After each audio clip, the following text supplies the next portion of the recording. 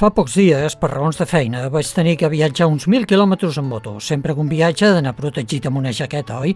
I amb el casc, i a més és que aquí a França és per llei que tens que anar així, i just quan arribo a casa faig els 1.000 quilòmetres, al amb la jaqueta se'm trenca la cremallera. Aquesta cremallera ja no la puc tornar a fer servir fins que l'arregli. Tinc que enviar-la que la canviïn la cremallera. És una tonteria, però el fet de que es trenqués a l'arribar a casa va ser per mi meravellós, en el sentit de que es podria haver trencat a meitat del camí en un festiu i no poder viatjar perquè no la podia dur posada. Sabeu, a mi això em fa pensar en aquesta providència d'algú que vella per nosaltres.